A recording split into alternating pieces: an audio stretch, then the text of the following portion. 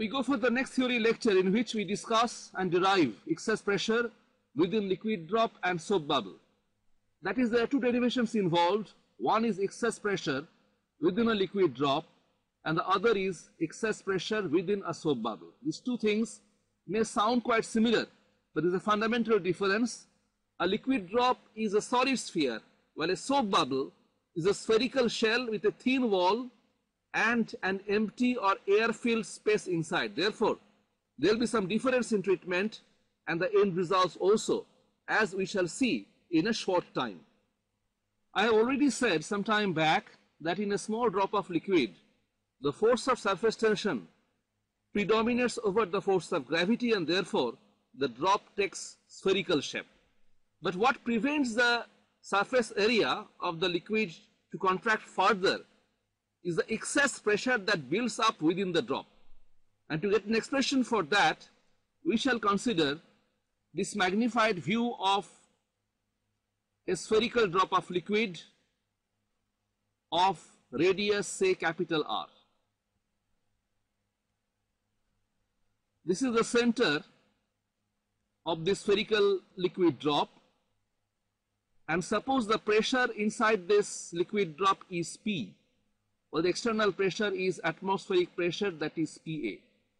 I just now said the pressure inside P exceeds the pressure outside and the difference in pressure delta P is equal to the inside pressure minus the outside pressure. We are supposed to find out an expression for this delta P in terms of the surface tension of the liquid that is taken to be gamma as usual and the radius of this spherical drop that is taken to be r. That is our work, okay? So we shall divide this liquid drop in imagination by a vertical plane passing through its center. This is the white outline of this imaginary vertical plane passing through center and dividing this liquid drop into two equal halves that is in two equal hemispheres as I am showing separately. Remember this is all done in imagination. And since the liquid drop as a whole is in equilibrium, it follows that either hemisphere must also individually be at equilibrium in either horizontal or vertical directions. Let us now focus on the horizontal equilibrium of the right side hemisphere. Whatever I say here for the hemisphere will be equally valid for the left side hemisphere. So one of them is enough for us. We identify the forces acting on this right side hemisphere. First of all, what about the surface force? You can see here the hemisphere joins to the left hemisphere through the circular face of perimeter 2 pi r and if I could divide this perimeter into small elementary lengths of dl each, on each of these elementary length dl, this left hemisphere's circular perimeter, molecules along this perimeter will be exerting surface tension force in the leftward direction that is across and perpendicular to any short elementary length taken along this perimeter. So I show here a group of tiny force arrows, all of which are drawn across and perpendicular to any short elementary length dl in which you can break up this whole perimeter. Remember, this force is applied at the surface only by the molecules of the left hemisphere all aligned along this perimeter, isn't it? That way this force is acting. So, if gamma is surface tension of the liquid and dl is any elementary length taken here on this perimeter, the corresponding force of surface tension is gamma into dl on that element and each tiny arrow represents that force of gamma into dl only. And you can see here since the force is acting towards the left horizontally, all the forces are parallel to each other. Therefore, the vector sum of the forces is given by simply gamma into the length of the perimeter that is 2 pi r. Therefore, let me write here the surface force exerted on the right hemisphere by the left hemisphere across the perimeter of the circular face is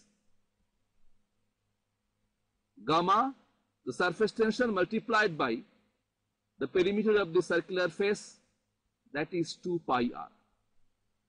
That was about surface force. There is one more force acting in the horizontal direction because of the excess pressure within this liquid. I have already said pressure inside is P, outside pressure is PA, excess pressure is delta P that is P minus P and therefore this excess pressure force is acting in the radially outward direction from inside onto this hemispherical surface.